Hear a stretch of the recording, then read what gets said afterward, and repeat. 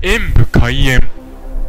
どうも本日はいよいよこの援助高級地味噌汁もラストこちらの小松菜をいただきたいと思います。なんか基本の3つが出てきたなと思ったらちょっとひねくれたものが出てきましていやひねくれてるってことでもないかな。では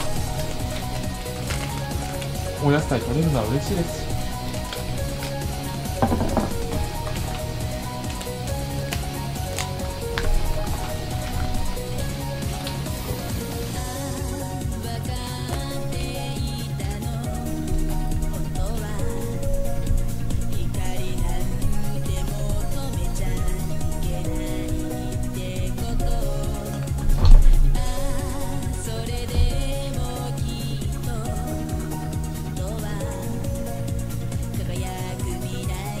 あちょっと入れすぎたかな。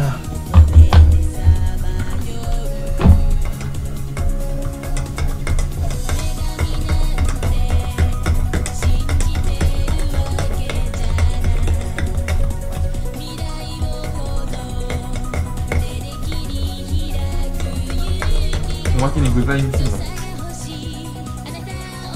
はい混ぜ終わりました。具材見せるのまた忘れて申し訳ないです。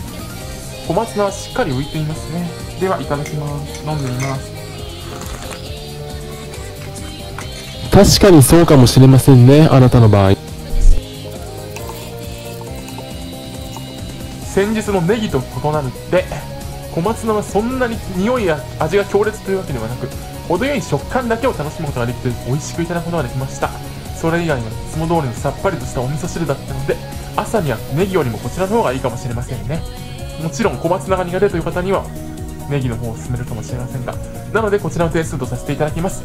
ご視聴ありがとうございました。コメントしていただけると嬉しいです。演武閉園。